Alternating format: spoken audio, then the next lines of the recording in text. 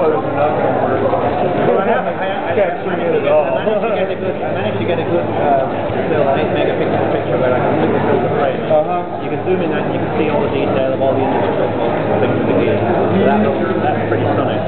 I did some high definition video, and the trouble is I could. Uh, in 1961 compared to three and a half, you know, three to five million dollars from the 1961 mainframe. About three quarters of a million dollars today, not something we could easily afford, but nonetheless really cheap relatively in, in those days. And the other thing is, it was basically, if you programmed it, you were the operator, you owned that machine for that time block, and it was easy to run. First computer I ever met where you could turn it on with one switch. The picture, this picture, this picture was taken in the, on the floor in Maynard around 1960. Yes, yes, at the their professional test. The, uh, tell you a little bit about the machine here while, oops, fine, sorry. I got to turn of our peripherals. Uh, Steve is, uh, play music, you gonna play music? No, I would, we're gonna use Yeah, look, do you, actually, you have the, uh, uh, things? zero, password zero, anyone.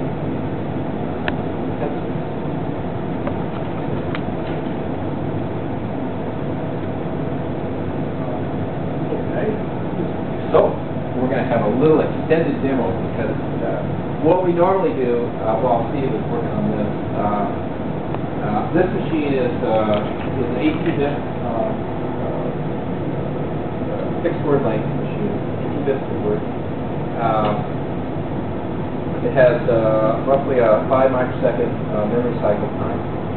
Has about thirty-some instructions. Uh, each instruction takes about one or either one to two memory cycles. Uh, multiply and divide uh, are very long. I think the multiply is around 30 uh, memory cycles long, and divide, is, as you can imagine, probably a bit longer than that. Uh, the machine has core memory, magnetic core memory, non-volatile. So the, uh, the software that, uh, or programs that you have loaded uh, at the time when you turn the machine off are still there when you turn the machine on. Are you? Are usually still there, yes. that's right. Uh, And so we don't, we- usually we don't have to reload the tape here, but um, Steve is showing you uh, how to load uh, uh, the pick tape with the high-speed pick tape reader. And it reads, uh, uh, when it's running full out, uh, 400 characters per second. Uh, There is a paper tape punch uh, to uh, Steve's it through tape. So this is uh, Bach uh, concerto uh, number one in G, lasts a. Uh, this is being um, played by a program that uh, Steve loaded called the Player. And um, the interesting, the, the way it's doing this, the way it's actually generating the sound. Uh, if you kind of look at these, these first four indicator lights here, these are program flags. And the, um, uh, the program can set those. Um, and those four I.O. bits, if you will, or, or flag bits, are uh, filtered. They, the electrical pulses go through a little RC uh, filter, and then they go right into two of the bits go into the left channel, two into the right channel of this vintage hi-fi amplifier, and then out to the speaker. So what the player program is doing is it's actually toggling those bits uh, to one or zero at um, audible rates to generate these tones. The, the system, the computer can generate four tones simultaneously. Uh, uh, if your composer score happens to contain that. And the interesting thing about the player is that when we were working on the archives, we um, found uh, a box of paper tapes uh, addressed to Pete Samson, and he happened to come and uh, join us one evening and looked at this box, and he recognized that he was the Peter that they were, the little note, handwritten note referred to. and these were data tapes. Um, and so he took the data tapes, he reverse engineered the format, reconstructed the player program, which he had originally written in 1961. Uh, uh, rewrote the assembly language, assembled it, uh, punched the binary, came, loaded it, and then we could read, the computer could read and interpret those data tapes, and we had music. There is a companion program called the Harmony Compiler, which he also wrote in that era, back in 61, 62, which, in which you take a composer's score and you, uh, you describe it in uh, alphanumeric characters, and the compiler then takes that notation and creates the data tape for uh, up to uh, four different voices, if you will, four different concurrent voices. So if you had a music staff with, you know, four uh, staff on it, you could then encode that and play.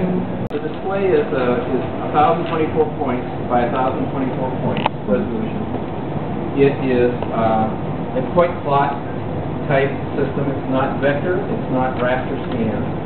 Uh, the computer uh, specifies an X address and a Y address on the screen, and then a plot command, which all of which takes about 50 microseconds to light up one pixel. Uh, the phosphor, this is a sort of a World War II era um, Go for it, uh, radar CRT screen. Take them on. So it has a blue-white, very fast phosphor, and then Black hole. kind of yellowish, uh, uh, green, long phosphor, which gives you kind of that uh, smearing tail, and you know that's sort of very characteristic of World War II and, and slightly thereafter uh, radar. screen. realizing that there's no way for him. So I, I'm going to let Steve talk about Space Force, since he is the writer of it. I'm pointing the wrong way. The uh, first version of Space War just had two spaceships and no gravity. But you can maneuver the spaceships. You can rotate left, rotate right, fire your rocket to get some thrust, and fire the torpedo. The torpedo is uh, both an offensive and defensive weapon because it blows up other torpedoes and it also blows up spaceships. So if you can hit the other guy with a torpedo, he'll blow up. Um, uh, Oh. Samson Trying to use some kind of orbital. Uh-oh. Oh! Oh, got him. like that. Peter Samson wrote a program called Expensive Planetarium. uh, we, I incorporated in Space War, and Ned Edwards looked at my code and said, "Oh, I can make it run faster." And he wrote he wrote a special purpose compiler to compile the outlines with exactly the right code to compile to display the outlines of the compiler at full speed of the display. And that gave him enough time to do two square roots to compute the effect of gravity Oh, on the even know I was spaceship, between the sun and the spaceships. Uh-oh. Uh, But there wasn't time to compute the effect of gravity on the torpedoes. So we decided they were photon torpedoes, not affected by gravity. you know about relativistic? I've been being Oh, Star Trek hadn't even been filmed yet, right? Had Star Trek been filmed when you started writing this? Oh, no. Uh, The, uh, the This is the 1962 this- this is version. 1962. Uh, The, uh, So, yeah, there there is hyperspace. so where did you where did you get the names for everything, like hyperspace? And, Oh, uh, well, the space race was very, was very much in the news, and I had just finished reading uh, Doc Smith's monthly series. Ah. And uh, so, uh, and if you discover you're in the center of a storm of torpedoes, there's the hyperspace button, which causes you to jump- jump into hyperspace out of all those torpedoes. Unfortunately, the hyperfield generators were rushed into service, and they aren't very well controlled. So, uh, you get the positive in some new random place on the screen with a random velocity. And the hyperfield generators are very unreliable, no ship has been known to survive more than seven jumps into hyperspace without exploding. so how do you pull those random figure random positions and so forth? Um, there's a crude random number generator, and uh, it gets kicked many times every cycle for the uh, length of the rocket exhaust and the position and the direction of the sun spark. Oh. And so it gets run a lot.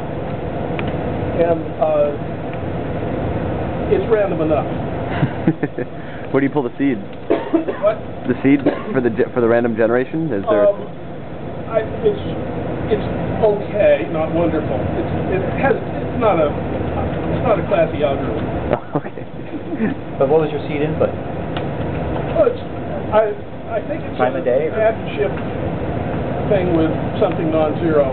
But since it gets kicked, uh, several times every display cycle. At least uh, user so interaction is slow when you compared push to the button. It's pretty random. It's random enough so that you can't tell the difference. So who is the champion around the office of this? Uh, well, I do fairly well. I'm not perfect by any means. Um, but I was forced to play a lot in order to test it. and what do you think of Nolan Bushnell's version? Uh, Well, the, the, um, I haven't played Nolan's version. Uh, Bill Fick's version was reasonably faithful, and, um, the, uh, Vectrix Asteroids, uh, really demonstrated how to make it a good arcade game, a popular arcade game. They sped up the pace, which they could do because they had faster computers, and they, um, added, uh, viscous space, which is unrealistic, but it has the great property that when you take your hands off the buttons, the spaceship slows down so you can understand what's going on. Mm. and that makes it a lot easier to learn.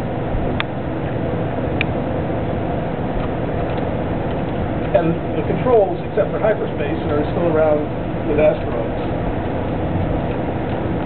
No, I didn't have an assembler. I wrote the assembler code, and there was an assemb- one of the reasons I wanted to use the machine was because there was an And assembler that and a explain symbolic why debugger. serial numbers which for They had got this working on seemed to TX-0 a little before, and so they just translated it over to PX1. And so you would type in system. uh, location, the system for location in the program, slash, you type out the content. Uh, And as an instruction using the assembler mnemonics and symbols. And you then type tab. Also, we, we looked at the documentation. So to the pile of numbers, it was really great way to become. It does not exactly.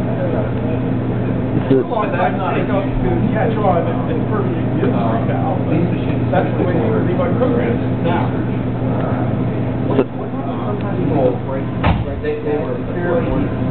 Oh, um, when a spaceship falls into the sun, uh, it gets deposited at the. And, uh, by ignoring when you go off this side of the you come in the place on the other side, and similarly the top bottom. Oh, And if corner- you think, if you follow through that, the corners are all one place. Right? right. So how does it feel? How does it feel? How does it feel to have launched a multi-billion-dollar-a-year industry? What? How does it feel to have launched a multi-billion-dollar-a-year industry? I That's one of your didn't do it appreciations. single-handedly. Well, no, but- more to do with it than I did. Well, certainly, but uh, it was, I mean, you guys, at, uh, the fellows at MIT who did the tennis I game. think Were, it's more, of it more like unleashing the curse of video games upon the world. do you play any other video games today? Oh, yeah. Such as? Oh, I play uh, solitaire when I'm waiting for the compiler to finish.